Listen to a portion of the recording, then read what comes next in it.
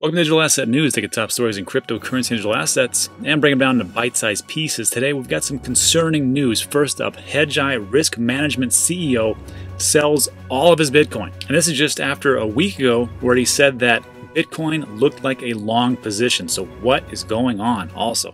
Stansberry Research had on a guest by the name of E.B. Tucker, and he's a big gold bug. And what we're going to go over is, of course, how gold stacks up to Bitcoin. But really, the big thing is how everything is going to play out in the next three to six months, which could cause that store of value narrative to reach all time highs. And big news Theta Network announces video on demand. So, what that means for the streaming platform Theta is that they're going to go direct opposition to YouTube. And the question I ask myself is I have a streaming key. Why have I done some streaming on Theta? We'll talk about that and exactly how to buy Theta. And lastly, we'll go over Q of the day which is a pretty good one, which talks about if I had $1,000, where would I invest it into what cryptocurrency project? So we'll get into all that, but first, let's take a look at what's going on with the market. So today it is October 6th, it is Tuesday, it is 3 p.m. Everything's going later and later. What do we have? Well, Bitcoin, eh, not too bad, 10.5, uh, down 2%. So uh, in the 24-hour time period, 7 days, 1.2. Uh, pretty stable. I will take that right now. Ethereum, ooh, takes a little bit of a tumble, down 4% really rocketed past that 350 into that 337 range. Not too fantastic. Tether is Tether. XRP, 24 cents, watch out. Binance Coin still in that fifth position, even though their DeFi play really didn't pan out. Polkadot down massively, 12% to 369. Chainlink, 9%, 868. Just across the board, just a big shellacking. EOS, for some reason, is up 6.5%. I don't know why, probably no good reason. Who knows? Let me know in the comment section. Maybe you can figure out that little mystery. But everything else is just, just got pummeled. 2.5% up for Ethereum Classic. Well, that's strange. The one that had three 51% attacks is going up. So just everything across the board is just taking a beating. How low will we go? Don't know. But I will tell you this, it is not looking good. Look at Uniswap, 13, almost four, well, 14%. Yearn Finance, which was, uh, I think it topped out at 40,000. Now it's at 16,000 and the hits keep coming. So if you foam it into projects, this is where it's going to really hurt. Now, if you've DCA'd, dollar cost average in, this could be an opportunity to buy things on the low though. But it really comes down to what are you comfortable with. So let's take a look at some concerning news. So this is Keith McCullough. He's the CEO of uh, Hedgeye Risk Management, and he was talking about Bitcoin all the way back in 2017, and just recently, today, he said, "Hey, I'm I sold all my Bitcoin. So what's going on here?" So Keith, Hedgeye Risk Management, cash out all Bitcoin. Again, 2017 is when he first announced his big play into the cryptocurrency leader. And today he told his 189,000 Twitter followers, hey, I've sold it all. He didn't provide a reason, but he did retweet something from Luca Balestieri, who said that McCullough understands correlations and he is not a permabull. So if he understands correlations and he believes that Bitcoin is correlated to the stock market, what does that say? Well, it says that potentially the stock market, the traditional markets, might take a major beatdown and we will only see as time progresses.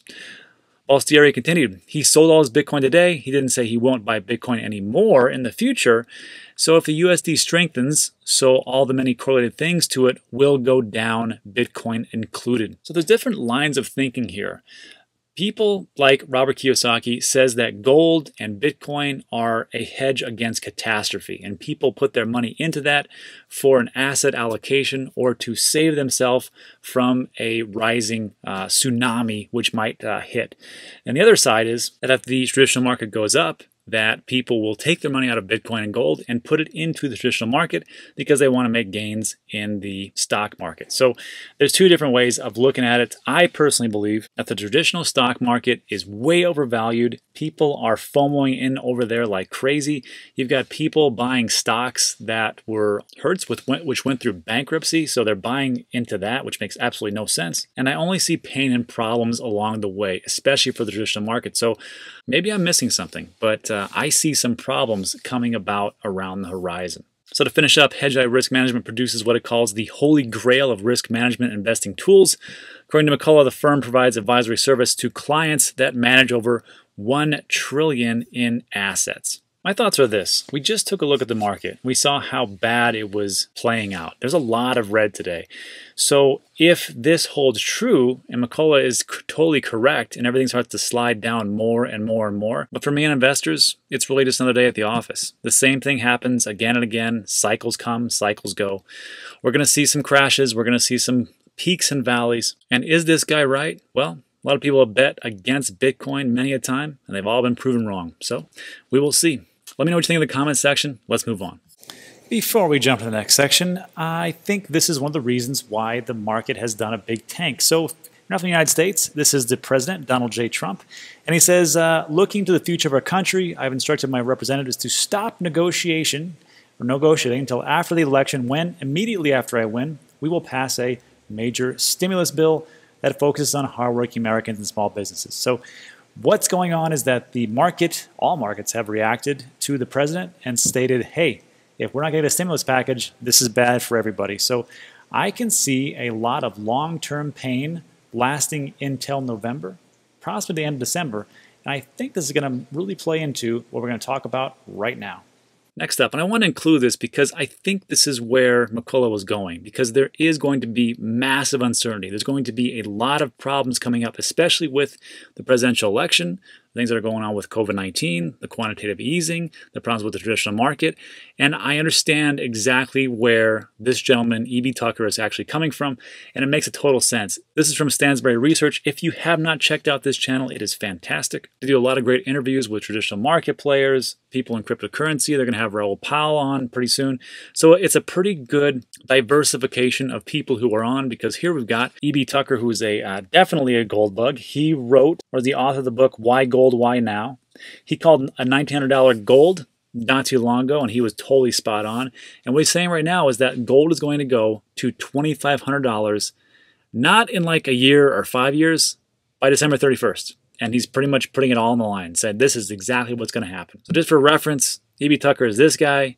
He's a lead analyst uh, at Stansberry Investment Advisory and the Bill Bonner Letter, founding partner of uh, KSIR Capital Management, uh, which is an asset management firm, and co-founder KSIR Capital Corporate Finance Advisory, which is focused on the precious metals industry. So to say that this guy knows about gold, yeah, I'm pretty sure he does. So this this first part right here is going to lay it all out about what's going to happen in the next three months. So let's take a listen.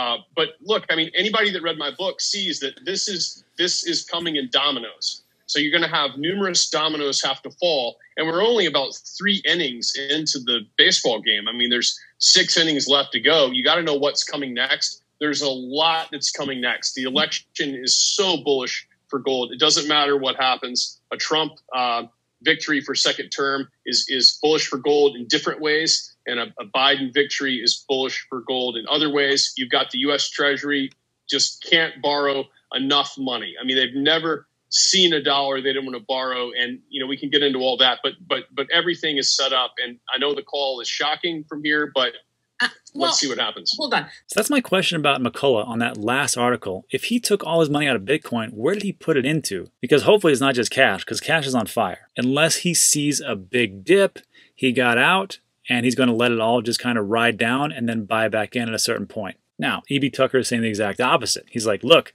gold's going to go up 2500 and I will tell you right now, if gold as a store of value goes to 2500 you can I can almost guarantee Bitcoin will go the exact same way. And here's what I'm talking about. There's a lot of charting that goes into this. There's a lot of setup in the market. The entire gold market, every ounce of gold ever mined in human history is only worth 12 trillion dollars. And so this year, you, have seen you know three to four trillion dollars in stimulus go out the door. There's last night there was a call from the the House for 2.2 trillion more. I mean, you're almost had a deficit in the U.S. of half the value of all the gold on the whole planet. So so look, and a lot of things have happened. I mean, Buffett coming into gold. You know, I wrote in my book about Buffett's negative statements about gold. But why is he coming into gold? Because there's no return on cash. There's no return on bonds the stock market is not appealing to anyone that's sensible. And you look at gold, and you've just crossed off all the reasons you used to hate gold. I think other people are going to come to this conclusion. But let's make sure we focus on something. Gold is not an investment; it's an asset. Exactly. Gold is an investment. It's an asset. Just like Bitcoin, which is the highest performing asset class of the last decade. So, just saying. But yeah, I mean, I, I get, I agree with E.B. Tucker. Look, if my my thoughts are this I've always thought this that the new savings account should be gold, silver, Bitcoin. It should just be gold, silver, Bitcoin. It just it totally makes sense. Where one has a stability in the traditional sense as gold because it's been around for millennia, and also you have Bitcoin, which is which is what I consider to be digital gold and can be an excellent store of value. Just put them both together. So here is where me and EB Tucker bifurcate or we separate here in our philosophy and what we think about, where he's going to talk about cryptocurrency, especially Bitcoin. So let's just take a listen. Um, but I've recently just had Michael Saylor on the show, uh, um, and he moved his company's cash into crypto. I actually have Raoul Pal coming on. He's also moving, in, you know, a huge position, 50% of his assets in Bitcoin. And when I asked them, well, why not gold? Their argument is, well, you could keep mining gold. You could pay enough money for someone to find that gold, but you can't do that with Bitcoin. Maybe, I mean, but you can have Pierre Lassonde on your show. I'm sure he'll come on if you ask him, and he'll tell you that they haven't found a 50 million ounce deposit well, in a shockingly long time. That's my answer and, to them. Yeah. But you know, I guess yeah. they're. Well, I guess well, for. let's let's get into that for a minute because I talk about I talk about crypto in my book, and I think I do it in a very fair way because there's a there's a place where crypto's headed, and and it's a place people haven't considered. And I, I wrote this in newsletters for a long time. I don't think people really fully caught on, so I devoted a big chunk of the book to it because I don't think it ends well for crypto, and I think people need to really consider what I'm proposing there. But let's look at gold. Gold, you can melt it down. You you can't trace it. You can turn it into uh, belt buckles, teeth, jewelry, back into coins, back into bars, and you never know where it comes from crypto has ultimately got to go onto a network to be traded. Sure, you can store it cold in a safe on a thumb drive. Sure, you could trade it with someone off market, but as we saw with the kids that that uh, blackmailed uh, Twitter accounts mm-hmm. last year, uh, earlier this year, that got crypto, they tracked that crypto down and found those. Okay, so my point is, do you want something that's out of the system? If you want something that's out of the system, pure unadulterated gold is the only asset in the world that has no counterparty. Bitcoin still relies on that network to be traded. So a lot to unpack there. And you know what? E.B. Tucker's a pretty smart guy. He's been around the block, seems to know what, he, what he's talking about. It's just that there's just some little discrepancies. First, that is the biggest thing about gold bugs. They always say that, uh, oh, well, we haven't found this uh, any, any new mines out there with, with huge stashes of gold. Yes, I get that. But guess what? The mines that we do have, you cannot tell me. Nobody can tell me. Absolutely nobody can tell me how much gold you can find in each one of those mines, and it seems like we're always finding more. So yes, these huge, enormous stashes may not be found, but you will still keep mining gold, and I don't know when that's actually going to stop. So with Bitcoin, we know, hey, there is a hard cap at 21 million, and that is it. And guess what? We're never going to have 21 million because probably four to five million has already been lost over all the years. So that is just one thing.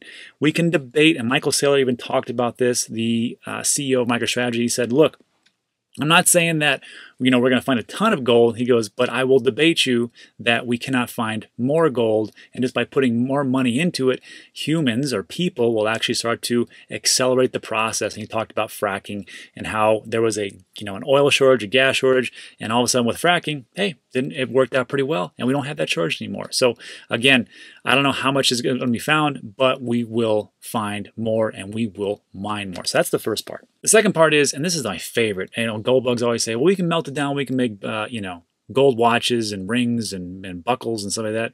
Who's doing that? How many people who have who have gold are melting it down, going, "Hey, you know what? Do this for me," or "I want to sell it for whatever else." That's not happening as much. People are storing gold as just a store of value, and that is what it is for. Now, I don't know how much is actually being used for you know gold and, and uh, for uh, different products for watches and whatever else. But that is not the majority of reasons why people buy gold. I have gold and I didn't buy it so I can make a watch or sell it to some watchmaker. I sold it because, or I have it because it is a great store of value and it's been around for thousands of years. So again, I agree with E.B. Tucker on that on that point. Now he talks about being out of the system and you can use the gold for out of the system. I don't know how many people are, are carrying around gold coins. I'm sure there are. I'm sure they're out there.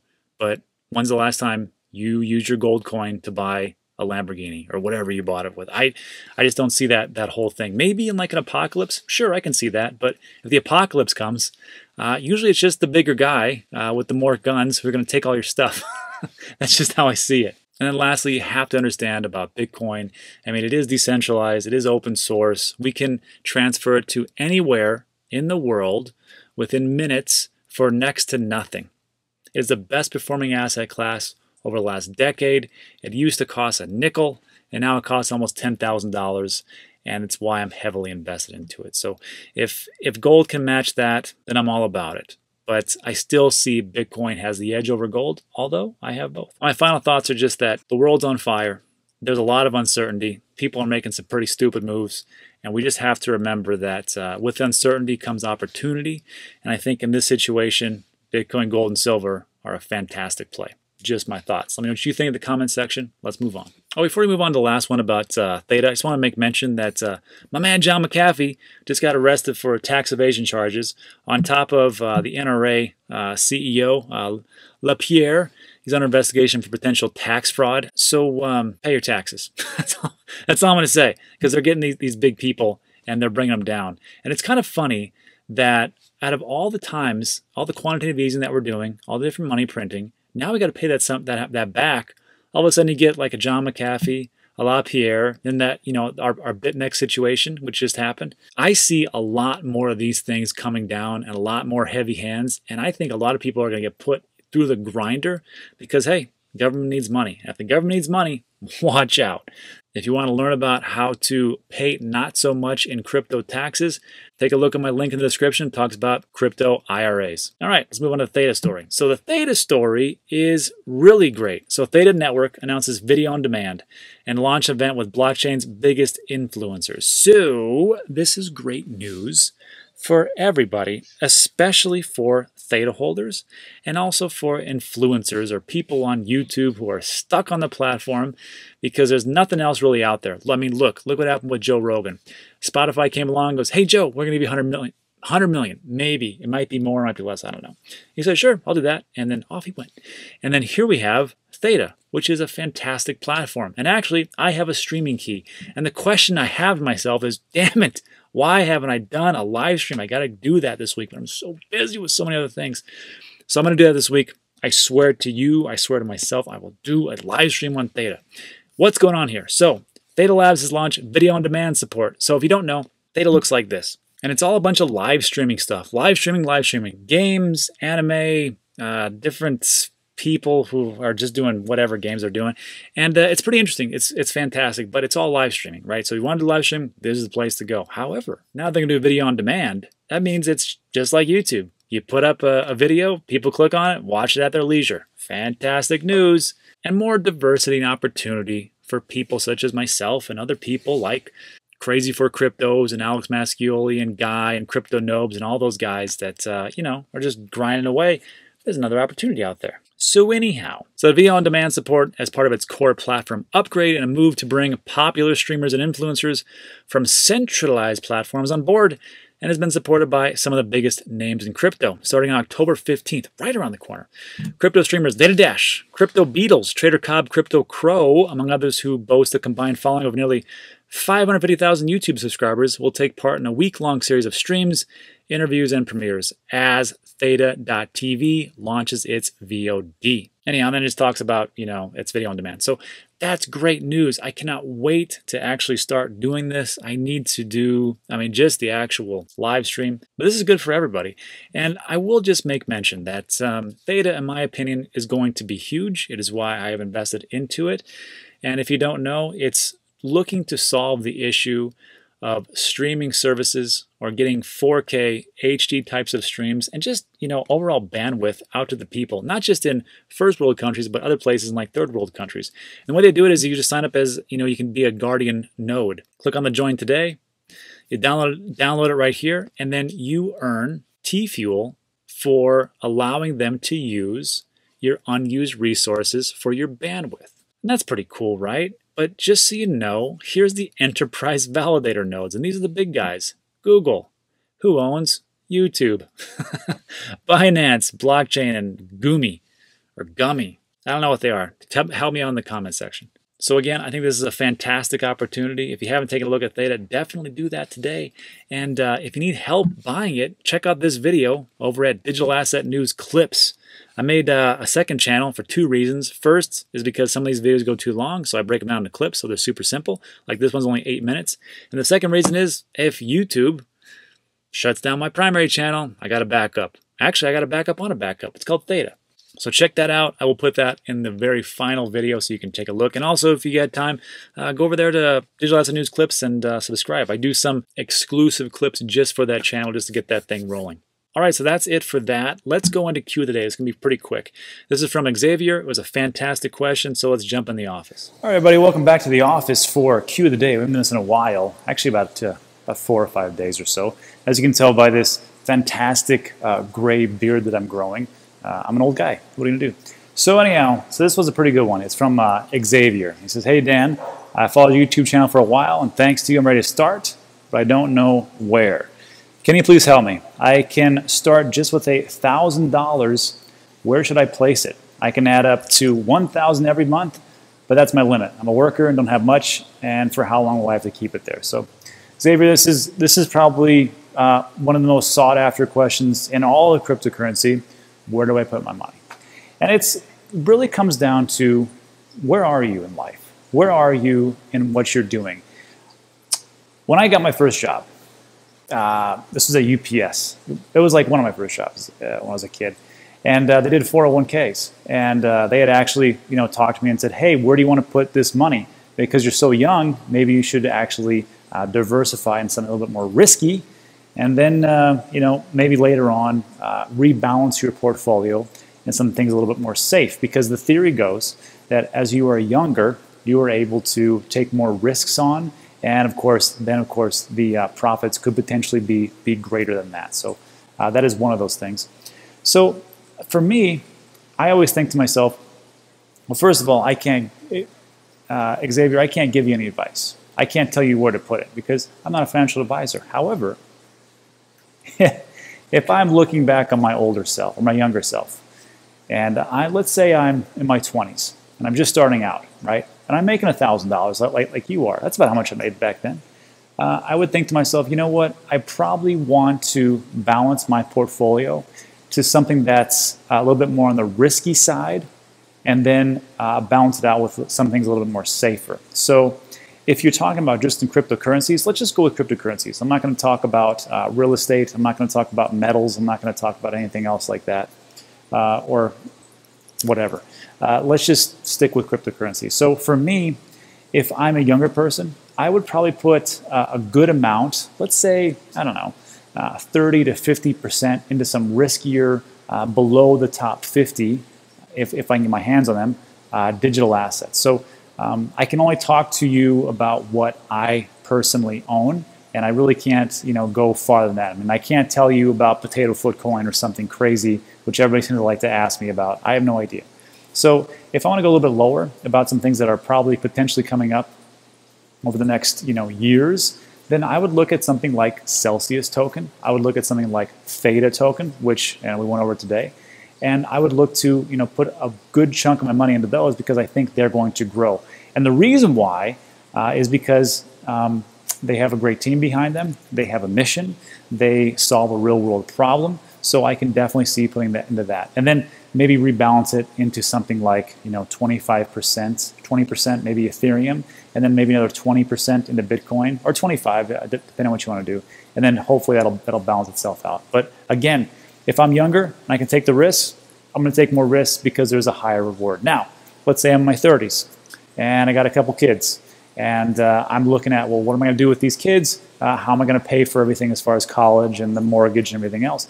Maybe I don't want to be so risky uh, just in cryptocurrencies, right? So maybe I want to allocate a good portion of that, maybe like 50, 60% into Bitcoin, because I'm not going to get the, the, the, most fantastic rewards. Let's just be honest. Uh, Bitcoin can tap can top out. Some people will say a million, but I think those people are crazy. Some people will say 100,000. I think those people are conservative. So if I want to look at Bitcoin, well, it's about 10,000 today. So maybe it'll go up to 50, 75, 100,000 relatively, uh, you know, in a reasonable amount of time. So I'm going to put a bunch into uh, Bitcoin. Ethereum would be another safe bet. And uh, I see that everything is built on Ethereum. So if you just don't know about DeFi, stick it into, into, into Ethereum. And then kind of look down and do what I do, which is hedge your bets against what you think could be a smart contract platform, uh, which would be like you know the Cardanos and the EOS and things like that. But uh, you probably want to put more into a safer asset. Now let's say you're moving forward And I'm just looking in the mirror and I'm going, hey, what do you want to do? So I'm going to put a ton of my assets into uh, Bitcoin because the older that I am, the more I want to be. And let's be honest, cryptocurrency digital assets is a pretty volatile space. So I want to put my money uh, on the least volatile of those assets. And then off we go. So uh, that's what I would do. Now, if I'm in my 60s or something like that, it's pretty much all Bitcoin. If I'm just talking about cryptocurrencies because that's the safest bet that you can possibly do. So, uh, uh, Xavier, I hope that answers your question. I can't give you know like exactly what what I can tell you to do, but that is what I would do if I was in my 20s, 30s, 40s, 50s, and 60s. I would just uh, allocate to a little bit riskier to a little bit safer, and that's really all I got. All right, let's jump back. All right, that's it. So thanks for sticking with me to the very end. I really appreciate it. If you don't know, there is a link in the description of every one of my videos. It talks about the exchange fees and wallet fees and just a basic assessment of what I use and have used and recommend. I go everything from Coinbase to my 123 punch, which is uh, Celsius, Voyager, and Kraken. And I just tell you, you know, here's what the fees are. Uh, here's what the interest that you can accrue from just having it on there, if that's even an option. And I go over everything from Coinbase because people need an alternative to that.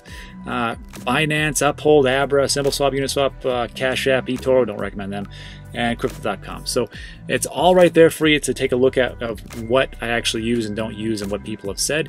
Also, there's affiliate links, just so you know. You don't have to use those. You can go right to Kraken and sign up for Celsius or whatever else. But if you use my affiliate links, you get between 10 and $25. So it's totally up to you. Again, thanks for sticking with me to the end. Really appreciate it. See you on the next one.